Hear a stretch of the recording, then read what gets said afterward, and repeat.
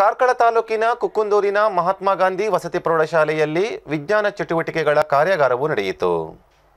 ಕಾರ್ಕಳದ ಕುಕ್ಕುಂದೂರು ಮಹಾತ್ಮ ಗಾಂಧಿ ವಸತಿ ಪ್ರೌಢಶಾಲೆಯಲ್ಲಿ ಡಿಸೆಂಬರ್ ಇಪ್ಪತ್ನಾಲ್ಕರಂದು ವಿಜ್ಞಾನ ಚಟುವಟಿಕೆಗಳ ಕಾರ್ಯಾಗಾರ ನಡೆಯಿತು.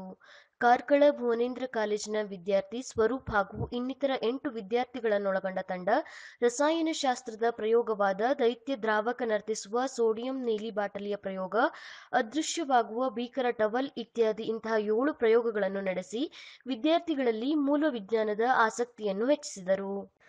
ರಸಾಯನಶಾಸ್ತ್ರದ ಕಾರ್ಯಾಗಾರದಡಿ ಡಾಕ್ಟರ್ ಶಕುಂತಲಾ ಅವರ ನೇತೃತ್ವದಲ್ಲಿ ಈ ಕಾರ್ಯಕ್ರಮ ನಡೆದಿದ್ದು, ವಿಜ್ಞಾನ ಸಂಘದ ಸಂಚಾಲಕಿ ಮಮತಾ ನಿಖಿಲ್ ಹಾಗೂ ಶೈಕ್ಷಣಿಕ ಸಲಹೆಗಾರರಾದ ಎಂಸಿ ಆಚಾರ್, ಶಾಲಾ ಮುಖ್ಯೋಪಾಧ್ಯಾಯರಾದ ಸಂಜೀವ್ ಎಂ ಪೂಜಾರಿ ಹಾಗೂ ಹತ್ತನೇ ತರಗತಿಯ ವಿದ್ಯಾರ್ಥಿಗಳು ಕಾರ್ಯಕ್ರಮವನ್ನು ವೀಕ್ಷಿಸಿದರು.